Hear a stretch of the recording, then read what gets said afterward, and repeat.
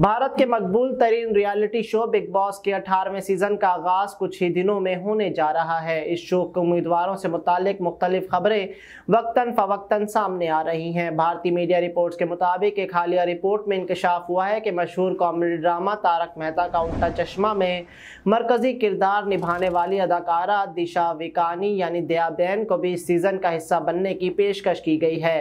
हैरान कन बात यह है कि अदाकारा को अब तक की सबसे बड़ी रकम की पेशकश की गई, यानी इससे कबल इतनी रकम किसी सेलिब्रिटी को ऑफ़र नहीं की गई। ये पहली बार है कि बिग बॉस मेकर्स ने इतनी बड़ी रकम की पेशकश किसी को की।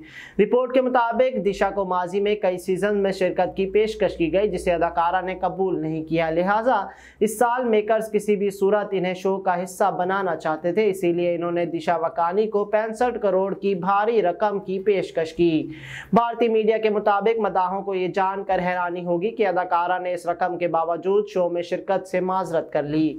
वाजे रहे, दिशा वकानी ने टीवी डेब्यू करने से पहले गुजराती थिएटर में काम किया है। इन्होंने कई गुजराती फ़िल्मों में काम किया है और यहाँ तक कि बॉलीवुड में बतौर चाइल्ड आर्टिस्ट भी काम किया है। वो देवदास 2002 और जोधा अकबर 2008 में जैसी फ़िल्मों में भी मुआविन किरदार अदा कर चुकी हैं।